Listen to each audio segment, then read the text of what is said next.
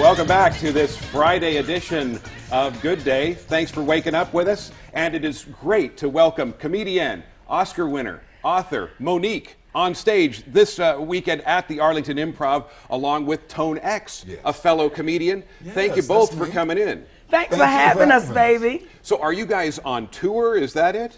We have been touring now for how long has it been? Since we got to Earth. Okay, that's how long we've been touring. We For have years been, yeah, for years, for years. And and for me, I really wouldn't have it any other way. Wow. Because as I've said, I've graced the stages with some of the greatest comedians to ever do it. And this brother to my left is one of the greatest comedians to ever step up on a stage. So I want you to know I love you. And I appreciate what you give to him, Well, baby. I want you to know I love you too. Okay, well, because a lot of it. things are getting off layaway because of you. Listen, All right, I'm the- come on, give it I'm to the me. king. Listen, and I'm gonna tell you something about layaway because sometimes people have a problem with layaway. Why? Because they think when you have money, you're Right. not supposed to lay away. Hmm? Do you know how long I laid away, baby, after I had the Parkers? I didn't realize I shouldn't be laying away till I got to the layaway, and the lady said, "Are you Nikki Parker?" I said, yes, I am. She was like, and you wouldn't lay away? I said, Yes. yes, I am. How much I got to put down, sugar? 10%. Lay- Come on now. I know Yeah. it. Uh, so, so Mo'Nique, uh, when you're on stage, Yes. there's there's a lot of intensity. I'm always struck by that. Is is it ever difficult to, to summon up the energy for that?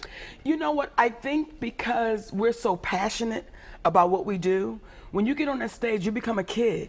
You become that little girl or that little boy dreaming, saying, I'm finally here. So you don't have to go somewhere and dig it up. It's always right there. And every opportunity you get when someone says, come to the stage, it's right there. How you feel? I feel great. I was going to say, uh, Like the tiger. like Tony. Which one, baby? Okay, right, I- okay, they not Tony, treating all our tigers Tony, good. I feel okay, great. because you got Tiger Woods. Right, well. Then you had Cecil. They don't You do know our. how that- you know how that That's went. why I say, but you like the I'm like the, I'm like the one that's animated. raw. You can't kill me. Baby Frosted. and, and now, you know and, Frosted Flakes is the best cereal they ever made. Listen, you don't even need milk. You don't even Do you need understand milk for me? Frosted Flakes, baby. You I'm gonna just tell eat you. them right out the bowl. Have you done it?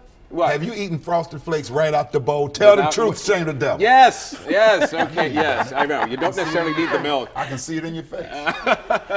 So yeah, so you like Mo'Nique, you've been you've been doing comedy a, a while as well. Do you, do you know ahead of time that the show is just going to be great, or is there always because after all it's live in the moment? Is there always a little bit of a doubt?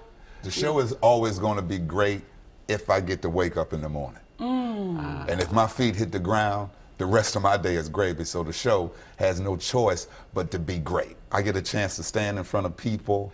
I get a chance to change energy in the room, make people feel better when they leave than when they get there. And I get to tour with this lady right here and live, love, and laugh with her. How can the show be nothing but great? And You and better say that. I put But that you together. said it. I You did. did. And, and Mo'Nique, one, one thing that you like to talk about Yes. relationships, how men and wo- women relate, uh, Yes. maintaining uh, domestic bliss. Do, you- do you feel like you, do you feel like you're on a bit of a mission? I mean, in addition to trying to get laughs. You know what? And, and let me say this to you. Great question. Because oftentimes people don't do their homework. So what you're saying to me right now is you've done your homework. And when it comes to relationships, I've been married three times.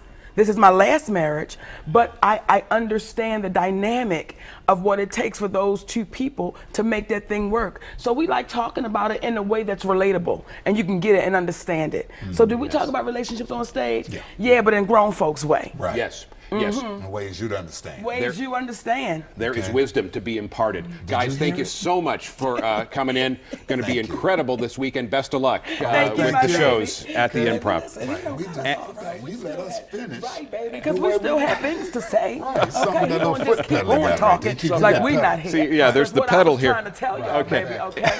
What you don't know is. Okay, there is there is